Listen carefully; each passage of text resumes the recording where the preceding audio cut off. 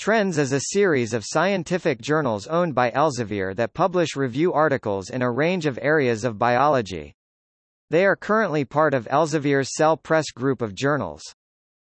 The Trends series was founded in 1976 with Trends in Biochemical Sciences TIBS, rapidly followed by Trends in Neurosciences TINS, Trends in Pharmacological Sciences TIPS, and Immunology Today. Immunology Today, Parasitology Today and Molecular Medicine Today changed their names to Trends in in 2001. Drug Discovery Today was spun off as an independent brand.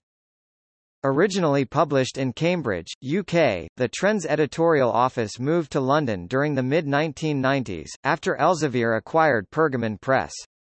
As of 2007, they are published under the Cell Press imprint and as of 2010, they operate out of an editorial office in Cambridge, Massachusetts, USA. The Trends publisher is Paige Shackley.